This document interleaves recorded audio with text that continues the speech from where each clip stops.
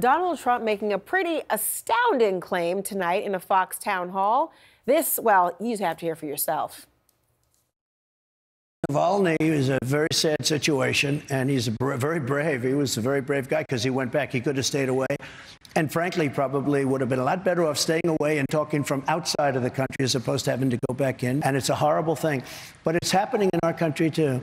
Uh, we are turning into a communist country in many ways. And if you look at it, I'm the leading candidate. I get indicted. I never heard of being indicted before. I was going. I got indicted four times. I have eight or nine trials, all because of the fact that I'm, and you know this, all because of the fact that I'm in politics. Is a, a form of Navalny. It is a form of uh, communism or fascism. That's right. Donald Trump is comparing his $355 million fine for fraudulently inflating the value of his properties to a political prisoner who stood up to a dictator, was poisoned, thrown in a penal colony, and has since died under mysterious circumstances. President Biden responding tonight saying that Vladimir Putin is in fact responsible. Quote, Trump fails to even condemn him. It's outrageous. Joining me now, former Congressman Joe Walsh and political commentator Maria Cardona. Let's just start right here because the idea that you have a former president, forget a leading candidate, a former president mm-hmm. suggesting somehow that we are turning into a communist country, it's mind boggling. It's astounding, Laura. And it is something that should, you know, it, we say this too often that it's kind of lost meaning, but we should be very concerned, very scared about the smidgen of possibility, perhaps even more of a smidgen, that this man can enter the Oval Office again. Because everything that he's talking about, everything that he's saying, are full on lies.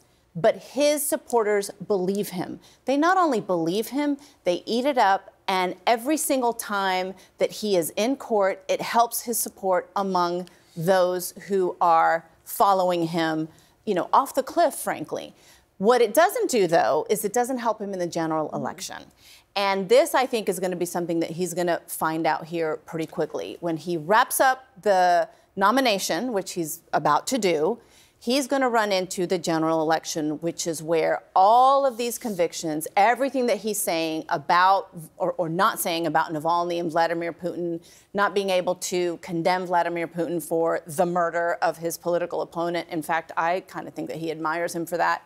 Uh, the, all of that is going to really affect him among independents, among former Republicans, among people who he needs if he's going to have a chance of winning. It, it, Laura, it's ugly. And it's we don't say this enough about Trump. God, he pisses me off. This is anti-American. Mm-hmm. This isn't the first time he said this. He, he's always saying crap like this, like this happens here, and we kill people here, and we're bad here, and we've got bad guys here. This is ugly, blame America, anti-American BS.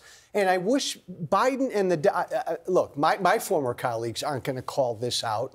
Uh, but I, I, hope the Democrats jump on this because this is anti American crap that needs to be called out. I mean, he's suggesting that his legal troubles are a kind of Navalny. I guess he's trying to use that phrase to suggest I don't know what. But the idea that his legal troubles, based on allegations, mm-hmm. some of which include grand jury indictments, yeah are somehow analogous to what has happened to Navalny, who, by the way, we still don't know the full circumstances of his death. But on that point, there is some exclusive reporting tonight that CNN has that Biden is actually directing some of his senior aides, Maria, mm-hmm. to focus more aggressively Good. on Trump um, and the inflammatory comments yeah. because they might maybe have forgotten wanting him to yes. um, to make sure they know all that he is saying. Is that the right strategy? I absolutely think it's the right strategy, and I'm glad that they're doing it. I hope that he leans, leans full on 180,000 percent into it because we are, I think, at a point where all of the energy and the mobilization right now is in the on the Republican side because they're the ones who are having this crazy primary. Uh, but I do think that we have to remind people what Trump did in his first four years and what he has not been shy in saying he would do if he gets another four years, if he gets another chance at the White House. And you know, voters are focused on their own lives, and there is this kind of, you know, voter not not necessarily apathy, but sort of forgetfulness of what it was that Trump did, what he said every single day, the chaos, the crazy, the confusion, the criminality, the cruelty that he brought That's and will thing. continue That's to the thing, bring. Laura, he says Trump's magic is he says 179 cruel, ugly, intolerant, anti-American things a day, and so our eyes just glaze over. And America, the American people need to be reminded about it constantly. But I do wonder, the polling suggests that, assuming they don't have amnesia, Mm-hmm. that's who his base wants. Oh, absolutely. They know who he is and they embrace it. So, is there some level of patronizing that's going on to suggest, well, if I just remind you who he is, maybe then you wouldn't support him? They know who he is and they support him. Most of them do. I'm talking about the great swath of people in the Yeah, middle. And by the way, the president, the current president, has an issue.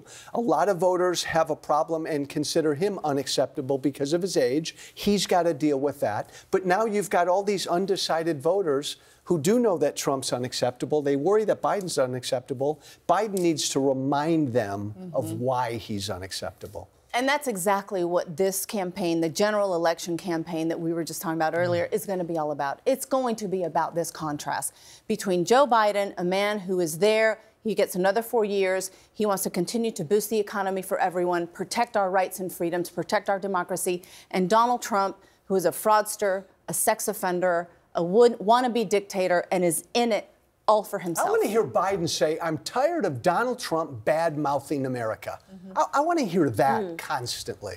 Well, we'll see if he starts to say it. You've heard it from Joe coffee. Walsh. There you go. Joe, Maria, Joe thank and you Joe. so much.